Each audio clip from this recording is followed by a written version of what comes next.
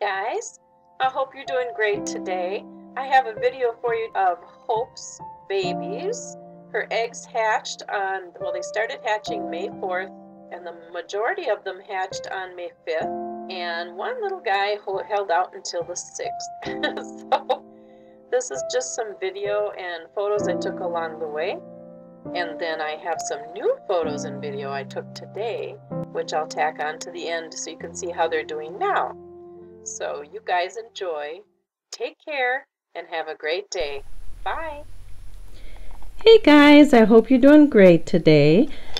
Um, today we have babies starting to hatch, so I just thought I'd give you a quick look. Uh, we have one little guy that's already hatched, he's right there.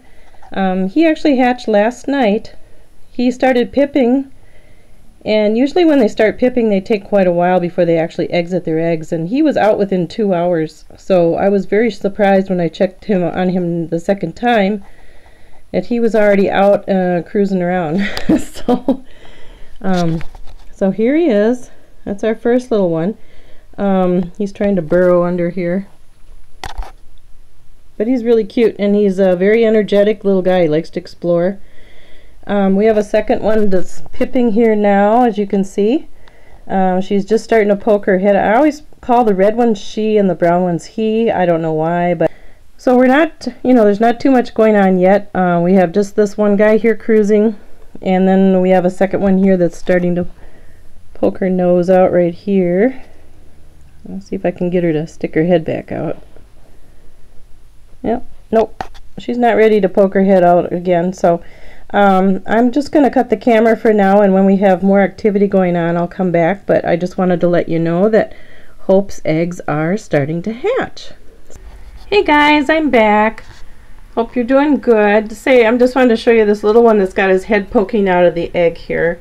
He or she has a perfect little heart on her head. I don't know if you can see that or not, but it's just the perfect little heart I've ever seen. so um, so not too much going on. As you can see, we have one, two, three, four, five pipping. We got one over here that's not doing anything. And this egg, I think, may be a bad egg. There's no sign of anybody in there that I can tell. It was really nice and plump, but then all of a sudden it started shriveling. So I don't think there's anything in that one. It's that one right there. But we'll wait and see. But this one had such a cute little heart on its head. I just thought you might like to see it.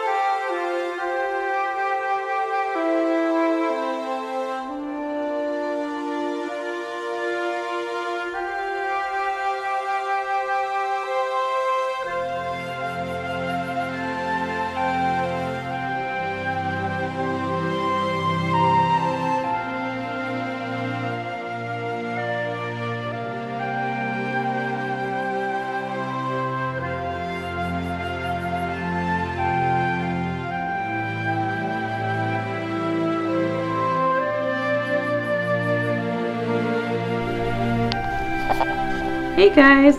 Well, here's a little update. We got a new one hatching. He's looking at my camera. uh, looks like, a, I think it's an anery. A really nice little anery. So, hello! Hello, little one! Welcome to the world! He's going to go over here and check out his sister, who's just resting over here. This is a really, really nice little anery. Very pretty anery. I'm very impressed with this color. so that's another one out of the egg. Now let's see, we have three eggs left to go. Um, there's two, we have, so far we have three amels or amelanistics. We have uh, one normal and one anery and we have three eggs left to go. So Here's this little guy venturing out his egg for the first time ever.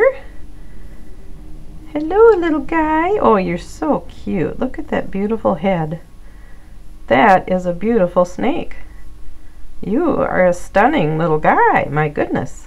All right. Well, we're getting closer to being done.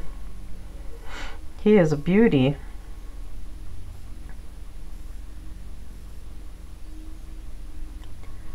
Just checking everything out. What I usually do is when they're while they're hatching, I leave them all in the same container here where their eggs are. And it's nice and warm because they're in the incubator. And then once they all hatch then I do a quick little uh, rinse. I put them in you know warm water that's not hot but not cold either. I try to keep the water as close in the temperature as I can to uh, what they've been experiencing in the incubator. And I rinse them off for about three minutes and then they're going to all go in the same aquarium.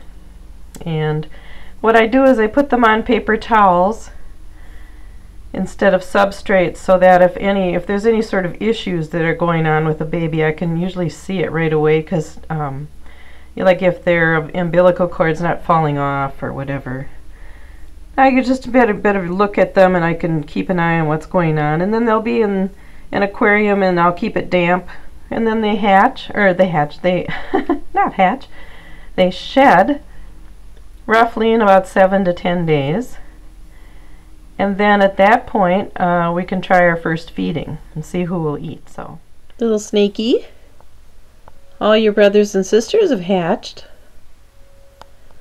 They all hatched yesterday. And then there's you. You like your egg, don't you? You you like your egg. It's cozy. I know. I know. All right. Well, it'd be really nice if you came out and you could be with your brothers and sisters. Yeah, that would be very nice. You're not coming out, are you? Well, you decided to come out. Well, hello. You coming out? Well, welcome to the world.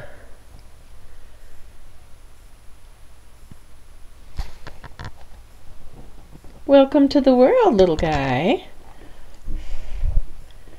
Were you just afraid? Were you afraid? Oh, trust me, the world's a lot more fun when you come out of your egg. Yeah. It's a lot more fun when you come out of your egg. You're still kind of in your egg here, though, aren't you? You're kind of in your egg still. Look at that. See? You did it. You did it.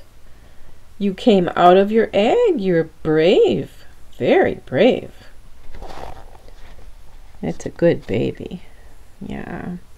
And your brothers and sisters are going to really be excited because now they get to play with you. I am very proud of you. Yep. You're a good little snake. there you go. You did you are in the real world, out of the egg. Yay!